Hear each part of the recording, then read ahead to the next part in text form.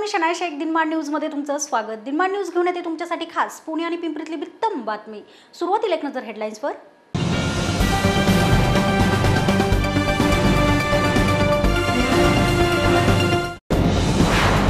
पाच विचारवंतांना झालेली अटक ही राजकीय हेतूने प्रेरित नसल्याचं सर्वोच्च न्यायालयाचं स्पष्टीकरण.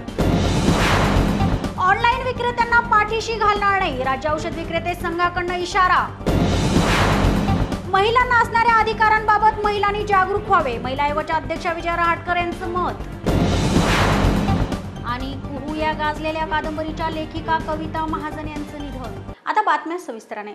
अर्बन नक्सलचा आरोप असलेल्या आणि एल्गार परिषद घेऊन भीमा कोरेगाव दंगलीला चिथावणी दिल्याच्या आरोपावरून नजरकैदेत ठेवण्यात आलेल्या त्या पाच विचारवंतांची नजरकैद आणखी चार आठवड्यांनी वाढवण्यात आली आहे ही अटक राजकीय हेतूने प्रेरित नसल्याचं सर्वोच्च न्यायालयाने स्पष्ट केलं आहे पुणे पोलिसांनी आपल्या विरोधात केलेली कारवाई ही राजकीय हेतूने प्रेरित असल्याचा आरोप करत ह्या संपूर्ण प्रकरणाच्या चौकशीसाठी विशेष तपास पथक नेमावं अशी नक्षली कनेक्शनच्या संशयावरून अटक करणाऱ्या पाच विचारवंतांनी केली होती. त्यावरून आज सर्वोच्च न्यायालयानं त्यांची कानउघाडणी केली.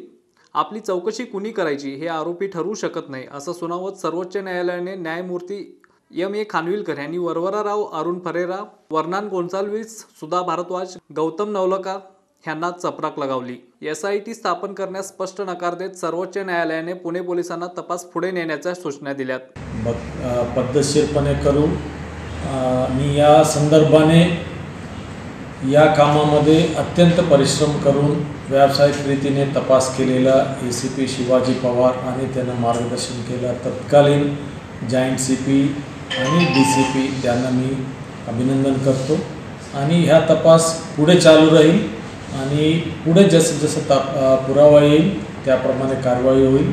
आणि योग्य वेळी आम्ही यांच्यावर चार्जशीट कोर्टामध्ये टाकू म्हणूनच या टीम जे तपास करताय ते एकदम सिलेक्टेड टीम आहे एफिशियंट टीम आहे. आणि अत्यंत परिश्रम करून केलेलं आहे. ते फारच गुंतागुंतीचं होतं. त्यांनी जे तपास केलं ते अभिनंदनीय आहे. आणि दुसऱ्यासाठी मार्गदर्शक आहे. ऑनलाईन फार्मसीच्या विरोधात दंड ठोपटले असून ऑनलाईन कंपन्यांना औषध पुरवठा करणाऱ्या विक्रेत्यांना पाठीशी घालणार नाही असा इशारा राज्य औषध विक्रेतेकडनं देण्यात आलाय. संघटनेकडनं एक दिवसाचा बंद पाळत जिल्हाधिकारी कार्यालयावर मोर्चा काढण्यात आलाय. बेकायदा ऑनलाईन फार्मसीला पाठिंबा दर्शवणाऱ्या कायद्याच्या प्रस्तावित मसुदा केंद्र सरकारकडून तयार करण्यात आला असून ह्या मसुद्याच्या विरोधात देशातील अखिल भारतीय औषध विक्रेता संघटनेने आज देशव्यापी बंद पुकारला होता. वॉलमार्ट तसेच फ्लिपकार्ट करार सरकारच्या आदेशाविरोधात आहे. तसेच किरकोळ व्यापाऱ्यामध्ये परकीय गुंतवणुकीचा हस्तक्षेप करू नये. तसेच एफ डी आय परवानगीला स्थगिती देण्यात यावी अशी मागणी ह्यावेळी कॉन्फेडरेशन ऑफ ऑल इंडिया ट्रेडर्सकडून करण्यात आली आहे. वॉलमार्ट फ्लिपकार्ट जो करार झालेला आहे हा सरकारने दिलेल्या आदेशाच्या विरोधात आहे आणि म्हणून आमचा विरोध आहे. सर्वप्रथम किरकोळ व्यापारामध्ये परकीय गुंतवणुकीची काही गरज नसताना आज ही जी परवानगी दिलेली गेली आहे त्याला आमचा विरोध आहे.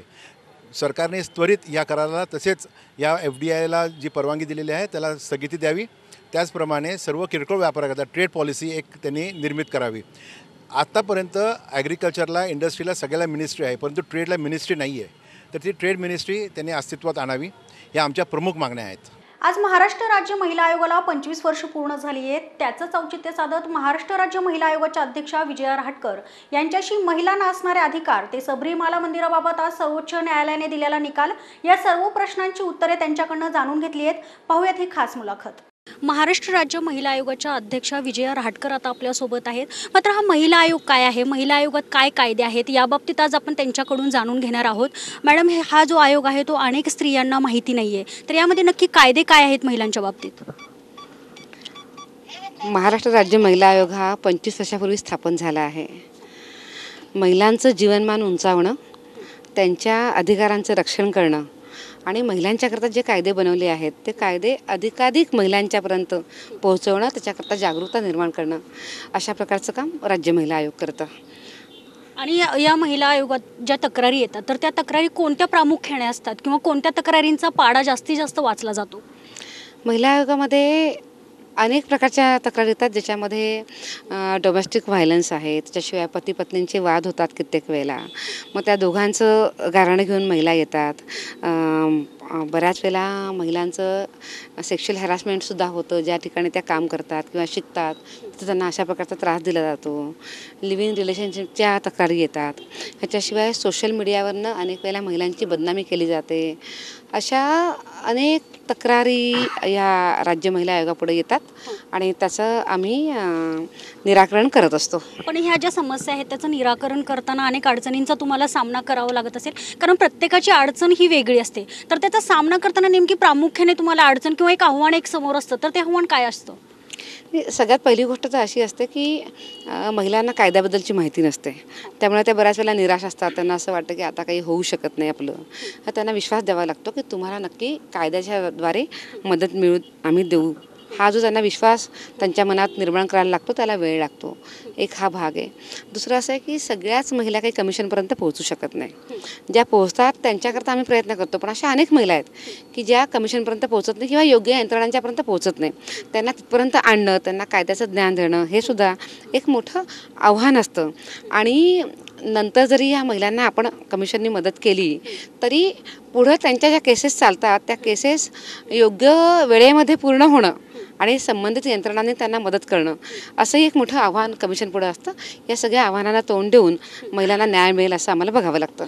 आता आपण पाहतो की वारंवार महिलांवर अत्याचारांचं प्रमाण वाढत चाललंय. कालचीच घटना एका अकरा वर्षीय मुलीवर अहमदनगरमध्ये बलात्कार झालेला आहे. अशा अनेक घटना अशा अनेक घट घटना घडतात. महाराष्ट्राचं बिहार होतो की काय स्त्रियांच्या प्रश्नांबाबतीत किंवा स्त्रियांच्या वर होणाऱ्या अत्याचाराबाबतीत? असं एकूणच चित्र आता सध्या पाहायला मिळते तर त्या बाबतीत काय सांगाल? सगळ्यात पहिली तर गोष्ट अशी आहे की अशा प्रकारचे घटना घडणं आपल्या ह्या समाजाला हे अत्यंत शर्मेची अशी बाब आहे.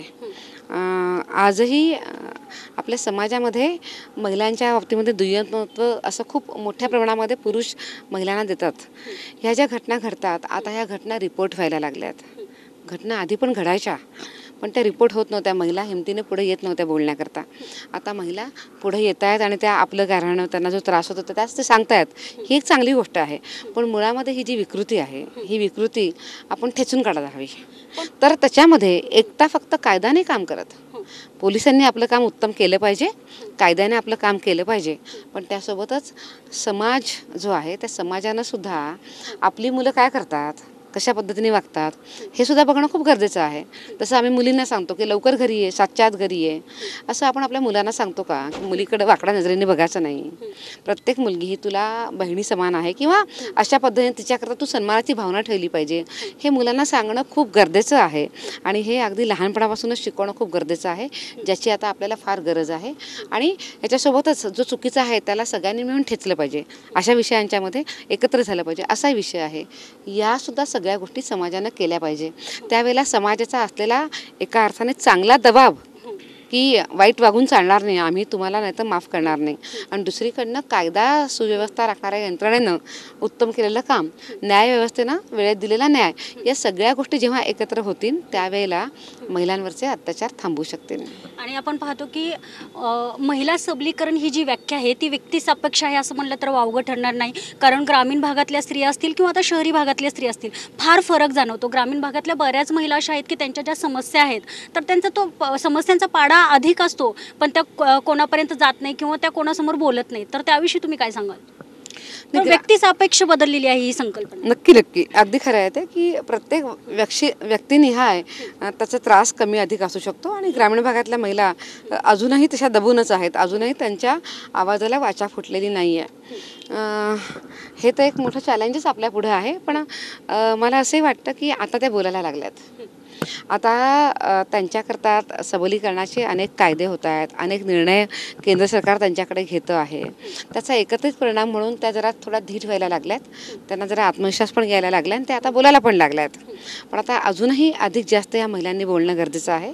त्यांना आपल्याला अजून अधिक जास्त धीर देणंसुद्धा गरजेचं आहे. तेव्हा या बोलतील. आणि आपण आता पाहतो की मॅडम पुणे हे विद्येचं माहेरघर म्हटलं जातं. एक सुशिक्षित शहर म्हणून पुण्याची ओळख आहे. कारण प्रत्येक ह्याच्यामध्ये पुणे अग्रेसर आहेच आहे. पण पुण्यासारख्या जिल्ह्यामध्ये कोमारे चाचणी स्त्रियांच्या बाबतीत घेतली जाते तर त्या बाबतीत काय? हे फार मोठं दुर्दैव आहे. त्या बाबतीत काय सांगाल? नाही हे तर अत्यंत निषेधच निषेध काय? समाजाला लागलेल्या काळीमाच आहे की अशा पद्धतीनं मुलींची कौमार्याची चाचणी घेतली जाते आणि त्यांना कमी लेखलं जातं त्यांना दुय्यमत्व देतं ही अत्यंत शर्मेची गोष्ट आहे. आणि महाराष्ट्रासारख्या कुर पुरोगामी राज्यात हे शोभलंच जात नाही. पण अजूनही अशा अनेक जात पंचायती आहेत अजून अशा अनेक समाज आहेत की अशा पद्धतीने ते वागतात. आणि त्या जातीमधल्या लोकांना त्यांचं मानावं लागतं.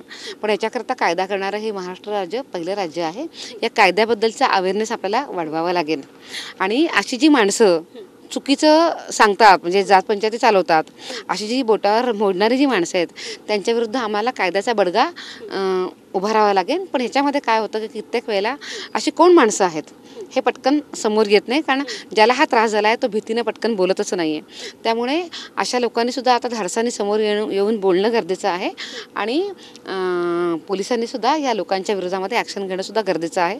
पण मात्र आपण याच्यामध्ये मोठं पाऊल उचललेलं आहे आपण कायदा पण केलेला आहे आणि जिथं इथं असं होतं आहे असं लक्षात येतं आहे तिथल्या लोकांनी सुद्धा याबद्दलची माहिती संबंधित यंत्रणांना देणं गरजेचं आहे. आपण म्हणतो की एकीकडे स्त्री आणि पुरुष समानता चालू आहे आणि या समानतेच्या गप्पा आपण खूप जास्त मारतो. पण बऱ्यापैकी ठिकाणी असं होतं की महिलांनाच कुठंतरी नमतं घ्यावं लागतं. तर अशा वेळेस महिलांनी काय पाऊल उचलावं किंवा कशा पद्धतीने त्या परिस्थितीला सामोरं जावं असं तुम्हाला वाटतं? सगळ्यात पहिली गोष्ट आहे तर मला असं वाटतं की या सगळ्यामध्ये माणसाचा विवेक फार महत्त्वाचा आहे. त्यांनी आपल्या त्या विवेकाचा आपल्या बुद्धीचा आणि भावनेचा चांगला वापर करून असा निर्णय केला पाहिजे आणि पुढे गेला पाहिजे असं मला वाटतं. आज एक उच्च न्यायालयाने निर्णय दिलेला आहे. कुठल्याही कुठल्याही स्त्रीला मंदिरात प्रवेश मिळेल वगैरे तर त्या बाबतीत तुम्ही काय सांगाल? शबरीमलाच्या बाबतीमधला आजचा हा निर्णय कोर्टाचा आलेला आहे. या निर्णयाचं मी स्वागत करते. अतिशय प्रोग्रेसिव्ह असा हा कोर्टानं दिलेला निर्णय आहे. आणि आता ह्याच्यामुळे जो भेदभाव होत होता स्त्री आणि पुरुष आणि मंदिरामध्ये महिलांना प्रवेश नव्हता तो आता प्रवेश खुला होणार आहे. आणि स्वाभाविक रीतीनं एक समानतेच्या दिशेनं जाण्याचं एक आपण अजून एक नवीन पाऊल टाकलं असं म्हणता येऊ शकेल. कॅमेरामॅन रोहित वनखट्टेसह मी शनाया दिनमान न्यूज पुणे. ब्र भिन्न आणि कुहू या गाजलेल्या कादंबरीच्या लेखिका कविता महाजन यांचं अल्पशा आजाराने निधन झालंय. पुण्यातील चेलाराम रुग्णालयात वयाच्या एक्कावन्नाव्या वर्षी त्यांनी अखेरचा श्वास घेतला. निमोनिया झाल्याने त्यांना काही दिवसापूर्वी रुग्णालयात दाखल करण्यात आले होते. उपचारादरम्यान त्यांचा मृत्यू झाला. ब्र भिन्न आणि कुहू या कादंबऱ्या ही त्यांची विशेष ओळख होती. साहित्य अकादमी पुरस्काराच्या त्या मानकरी होत्या. पाच सप्टेंबर एकोणीसशे सदुसष्ट रोजी त्यांचा नांदेड येथे जन्म झाला होता. त्यांचे शालेय शिक्षण नांदेडच्या प्रतिभा निकेतन माध्यमिक विद्यालयामध्ये झाले होते. त्यानंतर नांदेडच्या पीपल्स महाविद्यालयात आणि औरंगाबादच्या शासकीय कला महाविद्यालयात त्यांनी उच्च शिक्षण घेतले होते. त्यांनी मराठी साहित्य विषयात एम ए केले होते. तर तिने ते स्वतः कसं लिहिलं असेल आणि त्या वेशा कशा जगत असतील असं एक सगळ्या अनेक अंगांनी सामाजिक जाणीव असलेली ही आमची कवी कविता. आणि कविता नाव होतं त्याप्रमाणे ती कवितांचेही तिचे पुस्तकं छापल्या गेलेले आहेत. अनेक मोठ्या मोठ्या लेखकांशी प्रकाशकांशी आणि वे वेगवेगळ्या क्षेत्रातल्या लोकांशी तिचे रिलेशन होते. आता वेळ झाली का छोट्याशा विश्रांतीची. विश्रांतीनंतर तुम्ही पाहत राहा दिनमान न्यूज ज्येष्ठांसाठी ॲडल्ट डायपर घरपोच आणि योग्य किमतीमध्ये देणारी एकमेव कंपनी डायपर टू होम या कंपनीची adult diapers pull on underwear pant liners pads under pads creams cleaners आणि वाईप्स यासह विविध डायपर ब्रँड्सचा पुरवठा एकाच छताखाली पुरवणारी कंपनी डायपर टू होम. ही सर्व उत्पादने W W dot diaper to home dot com या संकेतस्थळावर संपर्क साधून अथवा शून्य एक्क्याण्णव अडुसष्ट चौऱ्याऐंशी सहासष्ट पंचावन्न आणि शून्य त्र्याण्णव एकवीस शून्य तीन चौदा चौतीस या नंबरवर संपर्क साधून फ्री होम डिलिव्हरी मिळवू शकता. डायपर टू होम लहान बाळापासून ते वृद्ध व्यक्तीपर्यंत सर्वांनाच काही ना काही कारणासाठी इंजेक्शन घ्यावी लागतात. इंजेक्शनमुळे होणाऱ्या वेदना असह्य होतात पण आता काळजी करू नका. कारण एश इंटरनॅशनलने कूल सेन्स हे पेन नर्बिंग ऍप्लिकेटर बाजारात दाखल केलं आहे. या डिव्हाइसमध्ये इंजेक्शन देण्याच्या भागाला थंडावा देण्याची आणि तो भाग काही क्षणासाठी सुन्न करण्याची क्षमता आहे ज्यामुळे इंजेक्शन देताना वेदना होत नाहीत. डायलिसिस रुग्ण केमोथेरपी व्यवस्थापन चेहऱ्यावरील बोटेक्स इंजेक्शनसाठी कॉस्मेटिक सर्जरी व dermatology ophthalmologist N T surgeon general surgeon यांना स्थानिक रुग्णांना विविध लहान उपचारांसाठी भूल देताना पॅथॉलॉजीद्वारे ब्लड कलेक्शनसाठी किंवा रक्तदान शिबिरादरम्यान कूलसेन्सचा प्रभावीपणे वापर केला जातो. कूलसेन्स हे पेन नर्विंग ॲप्लिकेटर बाजारात सर्वत्र उपलब्ध आहे. अधिक माहितीसाठी नव्याण्णव तीस नव्वद पस्तीस तेरा या क्रमांकावर संपर्क साधावा. नंबर पुन्हा एकदा ऐका. नव्याण्णव तीस नव्वद पस्तीस तेरा Cool Sense. It makes perfect sense to lose the sense of pain. India से आए भरे भरे दाने वाले सोने जैसे गेहूँ से बना पिकॉक आटा। ये 100% परसेंट होल व्हीट से बना चक्की का ताज़ा आटा है जिसमें मैदे की कोई मिलावट नहीं है। इसीलिए आपको मिलता है गेहूँ की रोटी का असली स्वाद और मज़ा। निर्माता अल आदिल ट्रेडिंग कंपनी और फ्लोर मिल्स बारदोबाई अबू धाबी और शारजाह। स्मार्ट सिटीत प्रत्येकजण झाले स्मार्ट. प्रत्येक गोष्टीत प्रत्येकाला हवाय स्मार्टनेस. हीच बाब लक्षात घेत आम्हीही झालोय स्मार्ट. प्रत्येक बातमी देतोय निर्भीडपणे तेही स्मार्ट वेळेत. म्हणूनच तर सोशल मीडियावर गाठलाय अठरा लाख चौदा हजार चारशे शेहेचाळीसपेक्षा जास्त व्ह्यूवर्सचा पल्ला तोही स्मार्ट पुणेकरांचा. प्रत्येक बातमीत मिळेल एक अचूकता आणि सत्यता. म्हणूनच तर सोशल मीडियावर जिंकतोय हजारो लोकांची मने. प्रत्येक बातमीच ठरते प्रभावशाली म्हणूनच होते फॉरवर्ड आणि सुपरफास्ट असाच करणार प्रभाव प्रत्येक क्षेत्रात तुमच्या साथीने. पाहत राहा दिनमान न्यूज एक निर्भीड व्यासपीठ. विश्रांतीनंतर तुमचं पुन्हा एकदा स्वागत. महिलांना केरळच्या शबरीमालेत प्रवेश करण्यास परवानगी मिळाली आहे. सुप्रीम कोर्टानं हा ऐतिहासिक निर्णय दिलाय. केरळमधल्या शबरीमाला मंदिरात दहा ते पन्नास वर्षाच्या महिलांना प्रवेशबंदी होती. मात्र या निर्णयाने महिलांना प्रवेश मिळणार असल्याने या निर्णयाचं पुण्यातील सामाजिक कार्यकर्त्या तृप्ती देसाईने देखील स्वागत केलंय.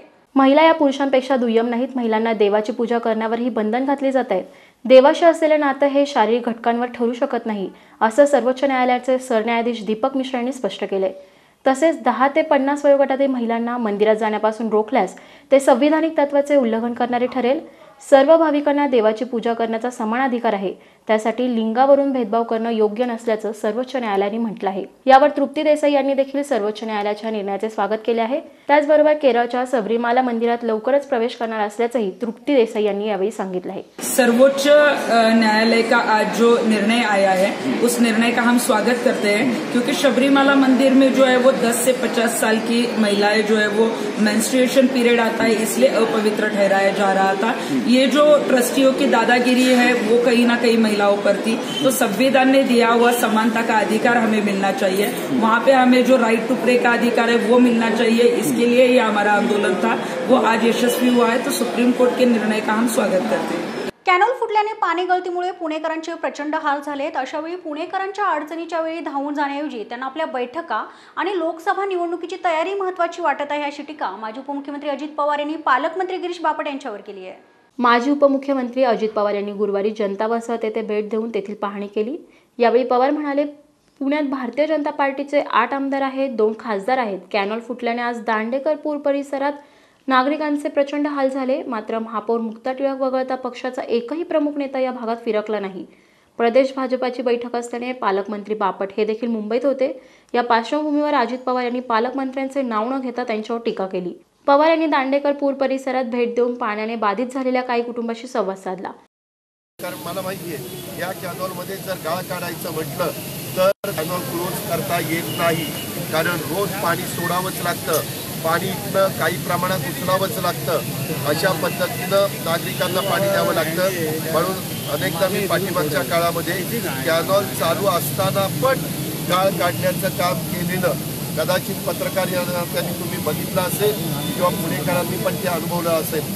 आमचं बारकाईने या सगळ्या गोष्टीकडे लक्ष असायचं. आता कुणालाही काही वाटलेलं नाहीये लवकरच लोकसभेच्या निवडणुका येणार.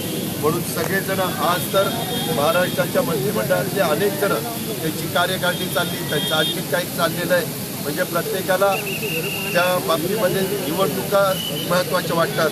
पण लोकांचे अशा प्रकारचे प्रश्न या लोकांना महत्त्वाचे वाटत नाही. हेच उदाहरण आपल्याला या कॅनॉल फुटल्यामुळं पाहायला मिळते.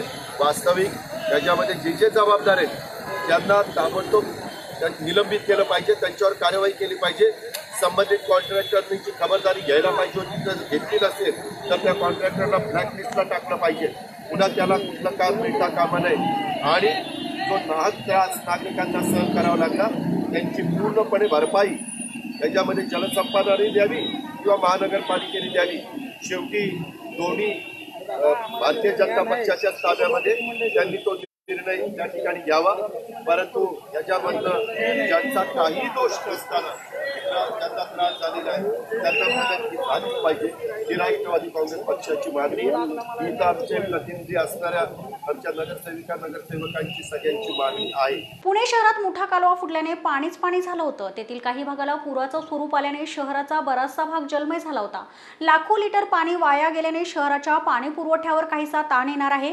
या कालव्याच्या फुटलेल्या भागाची दुरुस्ती करण्यासाठी दोन दिवसांचा कालावधी लागणार असल्याने पुणे शहराचा पाणी पुरवठा विस्कळीत होण्याची शक्यता आहे. शहरातील काही भागामध्ये पाणी पुरवठा कमी दाबाने होणार आहे. यामध्ये लष्कर भागातला पाणी पुरवठा विस्कळीत होणार आहे असे महापालिकेकडून सांगण्यात आले आहे.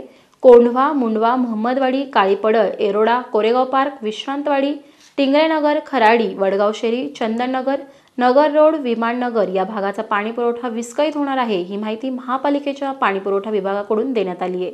नवीन पिढी सुदृढ व्हावी यासाठी जनसामान्यांमध्ये जनजागृती करण्यासाठी बालविकास प्रकल्पातर्फे पोषण महाअभियानाचं आयोजन करण्यात आलं होतं. या अभियानाची सांगता विविध पथनाट्य समाज प्रबोधन संदेश देऊन करण्यात आली आहे. बालविकास प्रकल्प अधिकारमार्फत महाराष्ट्रभर पोषण महाअभियान राबवण्यात आले होते. यामध्ये नवीन पिढीला सदृढ पूर्णाहार याविषयी जनजागृती करण्यासाठी अभियानाचे आयोजन केले होते. या अभियानाची सांगता आज करण्यात आली. यामध्ये महिलांनी विविध विषय पथनाट्य पोषण आणि बालक यांच्या पालन पोषणावरील गीते पथनाट्य महिलांनी यावेळी सादर केली.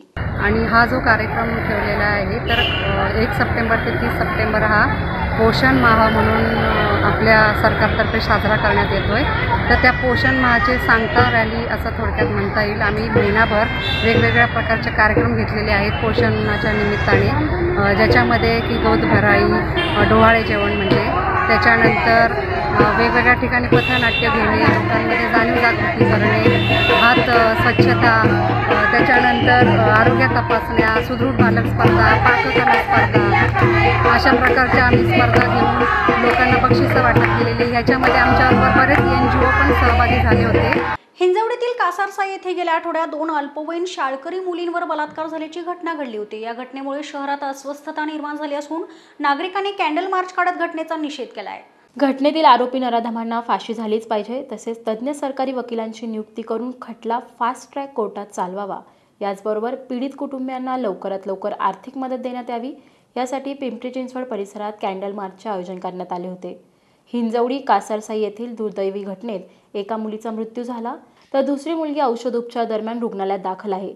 या घटनेत मृत्यू झालेल्या मुलीला श्रद्धांजली वाहण्यासाठी अन्याय अत्याचार विरोधी पिंपरी चिंचवड कृती समितीच्या वतीने पिंपरीत कॅन्डल मार्च व श्रद्धांजली सभेचे आयोजन करण्यात आले होते. यावेळी उपस्थितांनी घटनेचा निषेध करून आरोपींना फाशीची मागणी केली आहे. मुठा कालव्याचा भराव खचून वेगाने पाणी परिसरातील झोपड्यांमध्ये शिरल्यामुळे अवघ्या क्षणात होत्याचं नव्हतं झालं. पाण्याने झोपटपट्टीत राहणाऱ्या नागरिकांचं सर्वस्वच हिरावून नेलंय. अचानक झालेल्या या संकटामुळे नागरिक सुद्धा भेदरलेल्या अवस्थेत पाहायला मिळालेत. काय करावं आणि या परिस्थितीला कशा प्रकारे सामोरं जावं हे त्यांना सुचेनासं झालंय. वेगाने कालव्याचं पाणी घरात शिरल्यामुळे संसार उपयोगी म्हणून जे काय होतं ते सगळं त्या पाण्यात आपल्यासोबत वाहून नेलं. यानंतर मागे उरला अकांत आणि आक्रोश.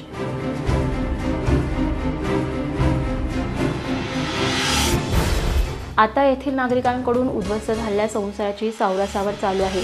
आता जे राहिलं ते आपलं आणि वाहून गेलं ते गंगामाईचं असं म्हणत पुन्हा घर सावरण्यास सुरुवात केली आहे. कोणी घर पुसत होतं तर कोणी आसपास पडलेल्या साहित्यात आपलं काही आहे का हे शोधत होतं. पानशेत धरणातून पाणी पुरवठा करणारा मोठा कालवा हा काल फुटल्याने एकच हाहाकार माजला. शेकडो घरं ही उद्ध्वस्त झाली आहेत. आपण ह्या ठिकाणी बघू शकता ह्या ठिकाणी राहणारा वर्ग हा कामगार वर्ग असल्याने म- मोठ्या प्रमाणात व- पत्र्यांची आणि कच्च्या बांधकामाची घरं ह्या ठिकाणी दिसून येतात. पाण्याचा प्रवाह मोठा असल्याने ह्या ठिकाणच्या घरांची पडझड ही मोठ्या प्रमाणात पडझड झालेली आहे आणि घरातील जे साहित्य टी व्ही फ्रीज किंवा फर्निचरचं जे साहित्य असेल ते पूर्ण वाहून बाहेर पडलेलं आहे आणि त्याचीच शोधाशोध ह्या ठिकाणी नागरिकाकडून केली जाते. आहे सध्या महापालिकेकडून पंचनाम्याचं काम ह्या ठिकाणी चालू आहे आणि स्थानिक नागरिकाकडून घरातून वाहून गेलेल्या साहित्याची शोधाशोध ह्या ठिकाणी आता सुरू आहे. काही नागरिक आपल्यासोबत आहेत.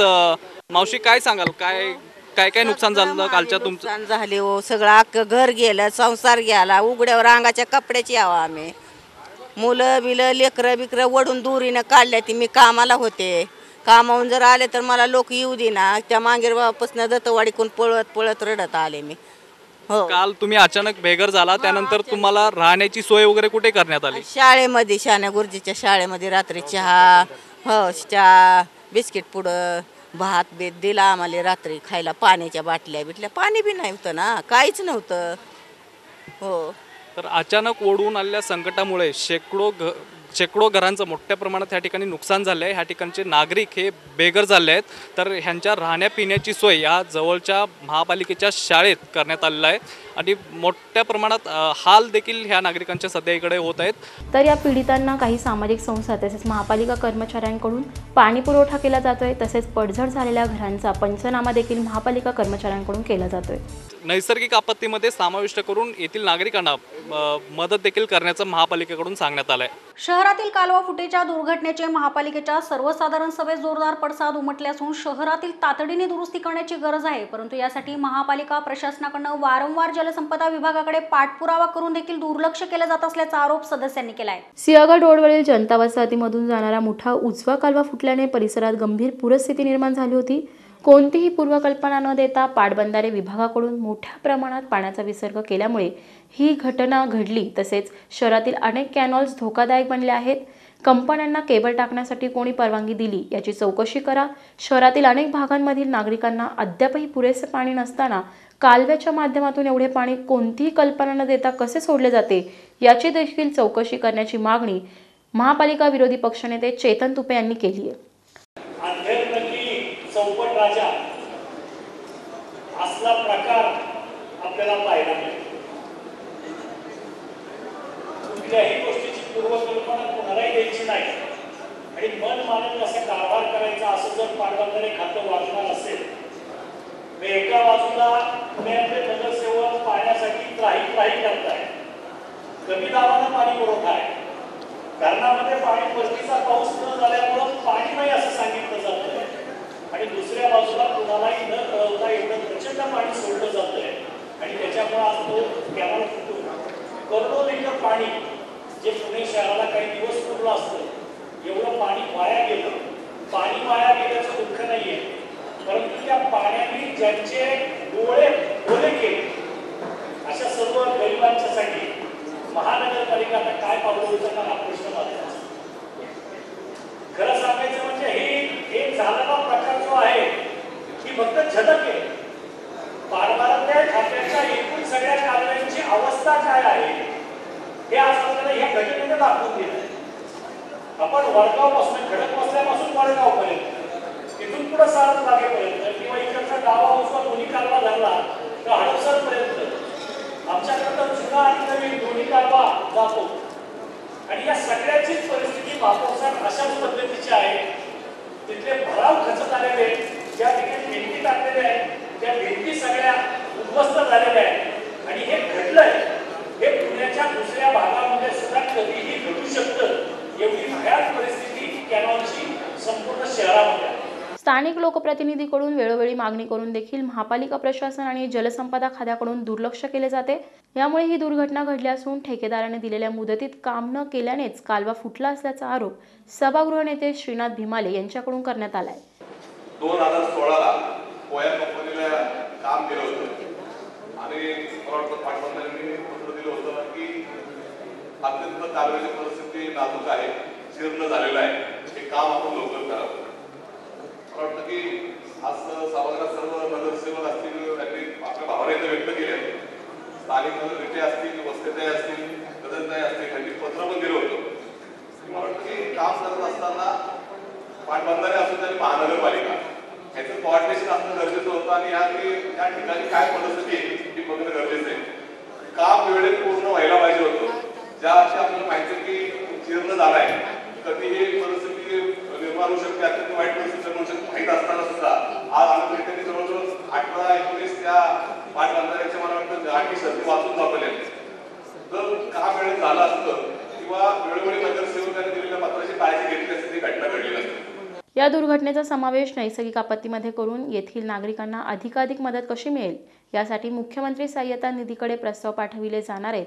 अशा घटना पुन्हा होऊ नयेत. यासाठी शहरातून जाणाऱ्या कालव्याचे ऑडिट करण्याची आवश्यकता असल्याचे अतिरिक्त आयुक्त शीतल उगले तेली यांच्याकडून सांगण्यात आले. गणेशोत्सवात पीएमपी मधून विना तिकीट प्रवास करणाऱ्या एकूण एक हजार एकशे शहात्तर फुकट्या प्रवाशांवर पीएमपी प्रशासनाकडून कारवाई करण्यात आली आहे. त्यांच्याकडून तब्बल तीन लाख बावन्न हजार नऊशे रुपयांचा दंड वसूल करण्यात आला आहे. निगडी ते दापोडी बीआरटी मार्गात घुसखोरी करणाऱ्या वाहन चालकांवर पीएमपी आणि वाहतूक पोलिसांकडून संयुक्त कारवाई सुरू करण्यात आली असून गुरुवारी घुसखोरी करणाऱ्या पस्तीस खासगी वाहन चालकांवर दंडात्मक कारवाई करण्यात आली आहे. गणेश उत्सवात पीएमपी प्रशासनाकडून जादा गाड्यांची सुविधा उपलब्ध करून देण्यात आली होती. या जादा गाड्यांच्या सेवेमुळे महामंडळाच्या तिजोरीत पंधरा कोटी त्रेसष्ट लाख छत्तीस हजार दोनशे सत्तर रुपयांचे उत्पन्न जमा झाले आहे. या दरम्यान फुकट्या प्रवाशांवर नियंत्रण ठेवण्यासाठी स्वतंत्र पथकाची स्थापना करण्यात आली होती. गणेशखिंड रस्ता कर्वे रस्ता पौड रस्ता सिंहगड रस्ता सोलापूर रस्ता सातारा रस्ता western bun garden Wanowrie corner Vasantbag Satavwadi या भागात ही पथके कार्यरत होती. या पथकाने केलेल्या कारवाईत एक हजार एकशे शहात्तर फुकट्या प्रवाशांकडून तब्बल तीन लाख बावन्न हजार नऊशे रुपयांचा दंड वसूल करण्यात आल्याची माहिती पीएमपी कडून सांगण्यात आली आहे. पुन्हा एक नजर हेडलाईन्सवर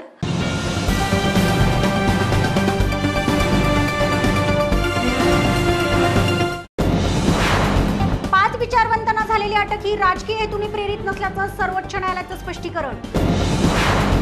ऑनलाईन विक्रेत्यांना पाठीशी घालणार नाही राज्य औषध विक्रेते संघाकडनं इशारा. महिलांना असणाऱ्या अधिकारांबाबत महिलांनी जागरूक व्हावे महिला आयोगाच्या अध्यक्षा विजया रहाटकर यांचं मत. आणि कुहू या गाजलेल्या कादंबरीच्या लेखिका कविता महाजन यांचं निधन. याचबरोबरच बातमीपत्र इथे संपलं तुम्ही पाहत रहा दिनमान न्यूज. एक निर्भीड व्यासपीठ. नमस्कार.